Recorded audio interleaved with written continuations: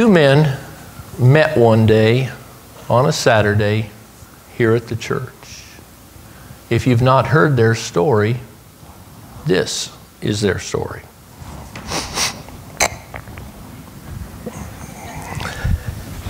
How many months ago was it? Uh, Six months. Six to seven? Yes. I live 22 miles east of here. It's unusual for me to be in this part of town on a Saturday. But I had some business to do at the bank. So around about 1 o'clock or a little after, I got on the motorcycle and I rode the motorcycle into Pacific Beach to the bank. Now, have you ever heard anybody say, well, it doesn't matter what you believe as long as you are sincere? well, I'm here to tell you that ain't so.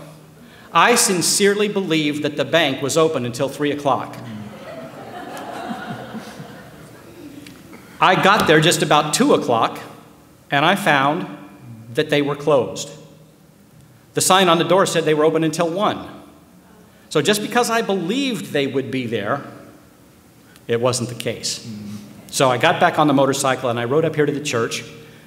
And um, as I drove up, I see this red car parked out here in front of the portico, and um, three young men eating their lunch. In and out. In and out burger. Okay?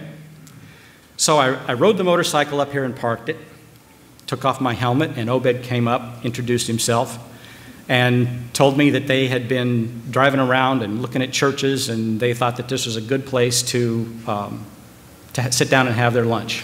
So we chatted a little bit, and I came inside. I gave him the deluxe tour, um, showed him around the place a little bit, and that is how we met. Yes. A, a remarkable coincidence. Absolutely. That is how we met. My side of the story now. Um, I, um, a couple from Los Angeles, were moving um, to San Diego to be part of the church plant. And they were driving their Penske truck from Los Angeles, of course, and they were a little late. And so me and three, um, two of the young guys thought we would just drive around the area and kill some time. Um, and so we saw this building, it looked pleasant, and we thought we would come and see if there was anyone here. Obviously, no one was here on a Saturday, and so we decided to hang around and have some lunch. As we were having some lunch, um, a motorcycle began to drive up, and so I panicked and said in my head, Someone's called security on us. Someone's called security on us.